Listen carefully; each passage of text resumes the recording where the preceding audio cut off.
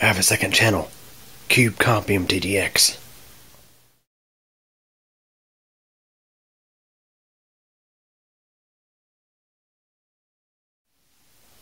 Hey everybody. So here we have one of the uh, power supplies out of the uh, Dell Optiplex 390 systems. Um, these are a Chicony Power 265 watt unit. Um, you see Dell Incorporated, uh, manufacturer Chicony Power Technology Company Limited, made in China of course. As you look at the spec label, you can see that this unit um, can put out the vast majority of its power just on the 12 volt side of things. And if you look at the back of the unit, there's no 120 slash 240 switch, indicating this is a full range unit. According to label, it can take 100 to 240 volts. But unfortunately, these units have um, do seem to have a flaw in them. It's nothing that does any damage to the computer. It's just these things. Um, what they'll do is you'll get 5 volt standby, but the unit will not switch on at all. Um, either by bridging the green and black wires on the main connector or by pressing this button, which I'm not sure if that is a manual test button. One thing I can one thing I can say is this little LED does not light up at all. Um, and I'd have to look at one of the ones that works to see how it behaves. But even when it's in 5 volt standby, the LED does not light up. Um, now I got some Bestec units and some HiPro units that have a similar LED in the back, and that LED will turn on indicate that there's all, there's um, 5 volt standby available. And when you go to switch on the unit, it briefly goes out and comes back on. And when the unit's running and that LED is lit, um, it's telling you that there's power good, a power good signal.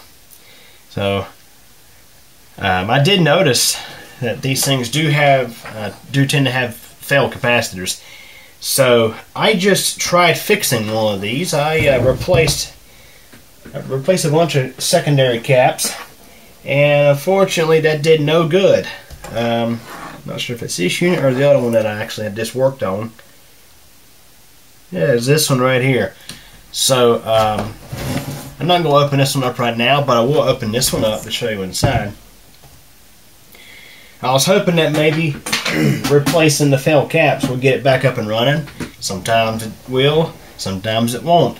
In this case, it didn't.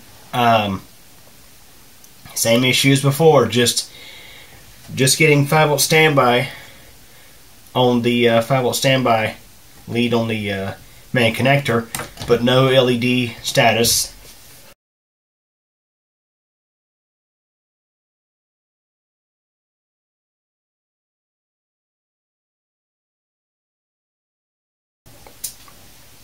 Seems that there's something deeper going wrong with these units that's really not worth my time trying to fix.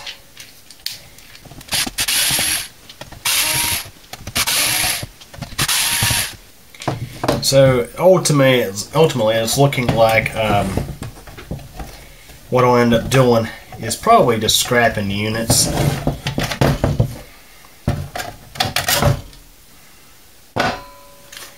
So um, this one looks like all the caps seem okay.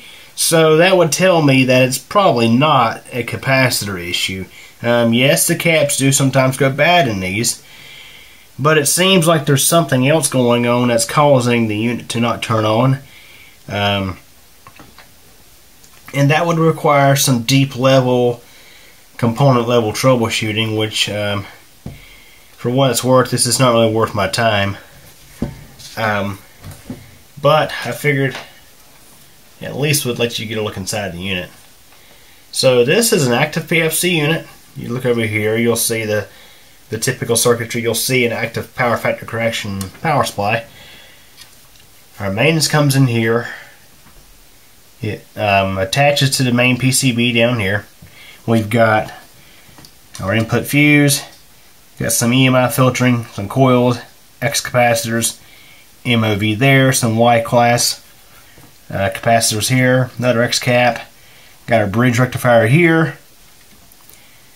Um, we got another X cap back here. Got this big coil. in our primary capacitor here is 150 microfarad at 420 volts. So yeah, the active PFC units usually just have just one main cap in them.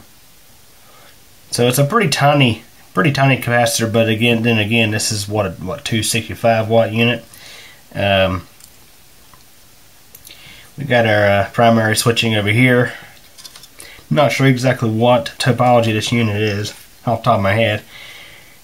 Down side here is, of course, the primary, um, or the, the main transformer. And I got an auxiliary transformer beside it. Um, I'm not sure if this unit um, generates 12 volts and does DC to DC conversion from 12 volts to your 5 and 3.3. Um, I'd have to really dig in to look at that and see, but I mean, you look at the label on this, it says um, 12 volt A and 12 volt B shall not exceed 240 watts. I mean, this thing puts out a big bulk of its power on 12 volts, which makes me wonder if it is uses DC to DC conversion to generate the plus 5 and the uh, plus 3.3 volt rails. Uh, not sure if this is actually an 80 plus unit. Um, it does not have the 80 plus label, so it may not be. So these units, um, I want to say they're from 2012, 2013. Uh, the the uh, computers themselves, I think, are from 2012, early 2012. So we're going to say maybe 2011 and 2012, that era. Um, now I got another Chicony Power unit that's actually running my overhead lights and stuff, and it was a real cheap piece of crap out of an HP system. And I think I remember a label saying standard efficiency, and it was not an APFC unit, just your standard. Uh, I'm looking at it right now. It's got a uh, 12240 volt switch on the back of it. so, um, but yeah, um, such a shame. It is kind of a cheap end unit, but um, it is kind of a shame that there's something going on with these that's that's preventing them from powering on. I mean, you get 5 volt standby and that's it.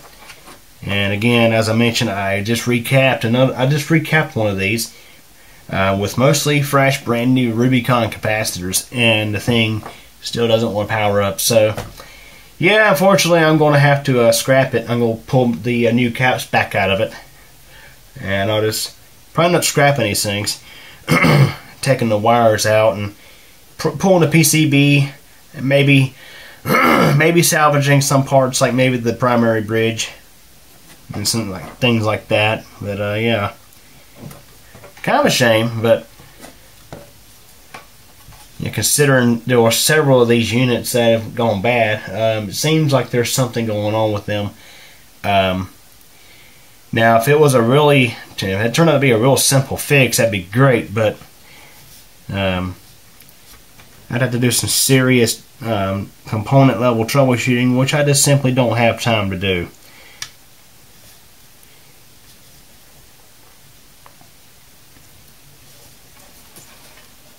Just try to get you another look here at this unit. There's a look at the secondary side.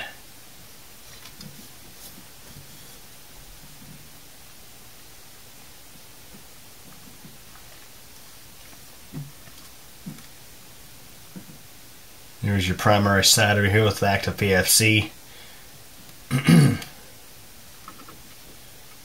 Here's where your mains comes in.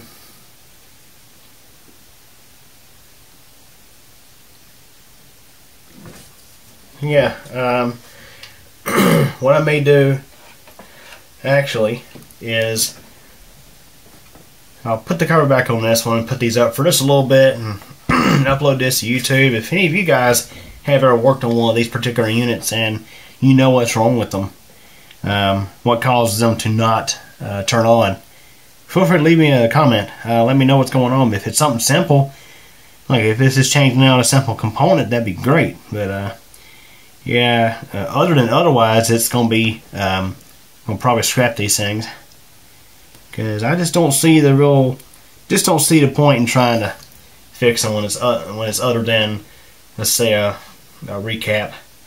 I mean, I, re, I recap power supplies. I, have recapped the pretty good number of them. and when it's and a lot of times capacitors generally cause are are the cause of problems with these things, but it does seem like there's something else going on. Um, now I've ruled I've ruled out a recap as a fix because uh, on the other unit, like I mentioned, put new caps in it and still doesn't want to power up. So, anyways, let's look inside that uh, unit, and again, it's a uh, Dell slash Chicony Power model H265AM. Gives you just your basic number of connections. You've got a four pin CPU power connection, which the CPU has its own 12 volt rail. You've got a total of four SATA power connections and a 24 pin ATX connection, and that's it. That's all you get with this thing. Again, hope you enjoyed this video. Thanks for watching.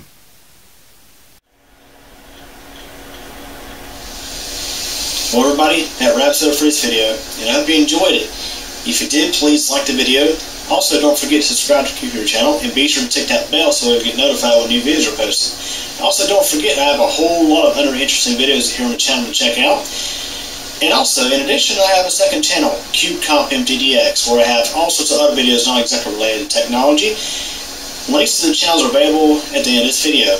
Again, I thank you for your support and thanks for watching this video.